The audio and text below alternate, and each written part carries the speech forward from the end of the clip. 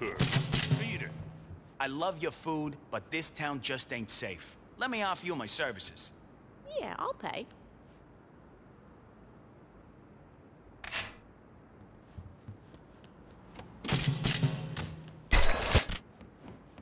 This guy's real scum.